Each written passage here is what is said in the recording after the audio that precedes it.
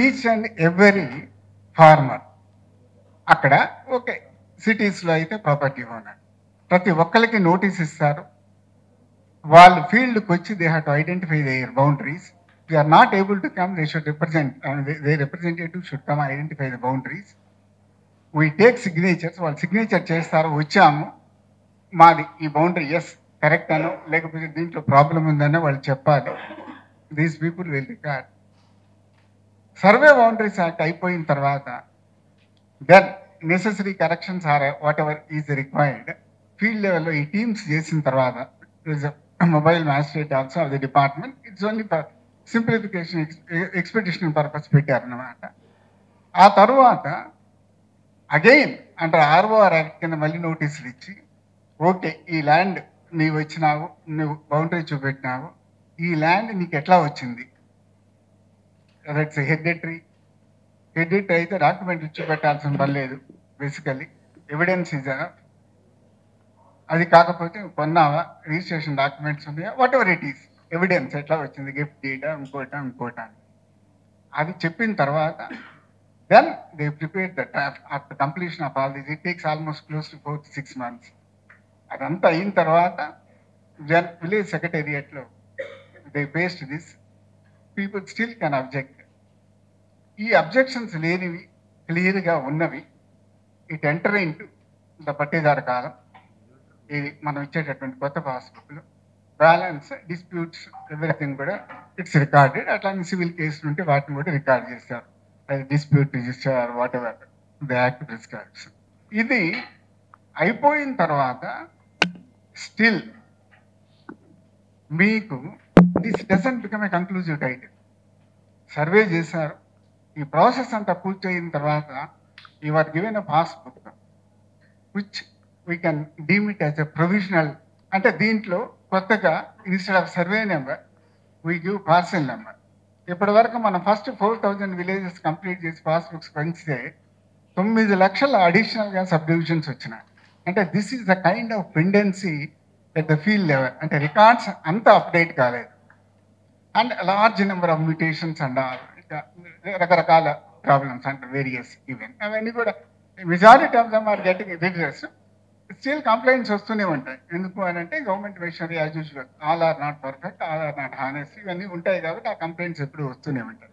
But ఈ exercise అంతా చేసిన తర్వాత then they distribute the passbook with parcel number correlation number of the earlier survey ఇది FMB FMB కూడా పాస్బుక్లోనే వస్తుంది.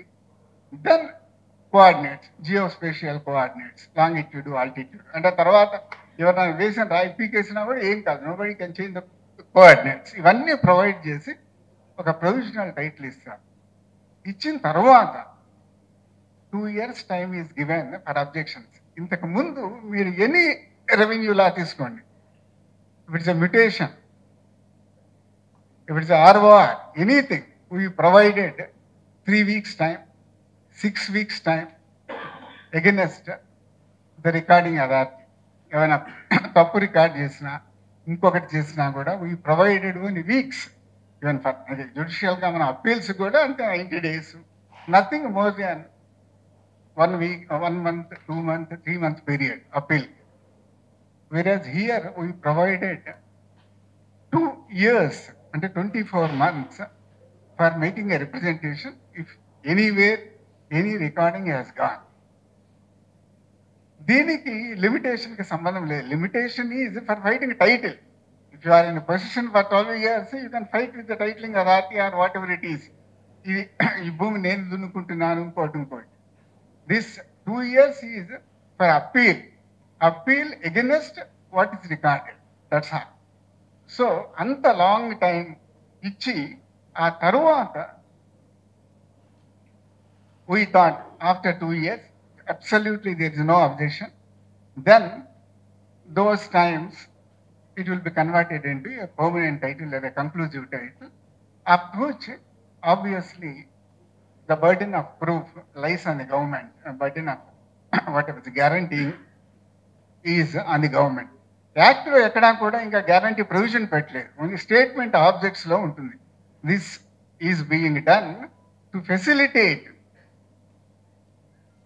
bringing in a guaranteeship or a title insurance system like every ఎందుకంటే మనం ఆ క్లారిటీ ఉండబట్టి ఇందాక మనోహర్ రెడ్డి గారు ఎవరో చెప్పారు మీకు litigation related to land in the civil cases look at the developed world like Australia southern hemisphere or America northern hemisphere it is less than win three percent land is hardly disputed upon వాళ్ళ civil cases అన్ని వేరే వాటి గురించి ఉంటాయి.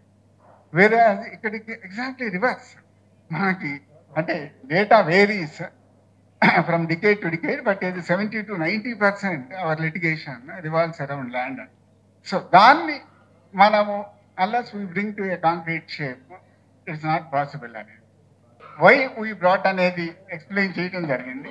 దీని మీద certainly some doubts for express here and there దానికి అంటే before you have taking the comply I mean other questions I will also try to clarify a couple of doubts ఒకటి ఏంటంటే రెవెన్యూ ఆఫీసర్స్ ఎట్లా చేస్తారు ఇది?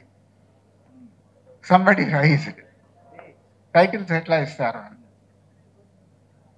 నాకు తెలిసినంత వరకు హిస్టరీలో except revenue officers nobody else till date has settled land laws settlement officers have always been revenue officers historically ryotwari settlement or subsequent subsequent settlements and other tenurial systems were abolish estates కావచ్చు ఈనామ్స్ కావచ్చు ఏవి abolish చేసినా settlement was settlement of what settlement of rights was done by the revenue department only అట్లా degrees అట్లా universities ఇస్తాయో అట్లా department revenue department మాత్రమే చేసింది. And we went by historical precedents only nothing new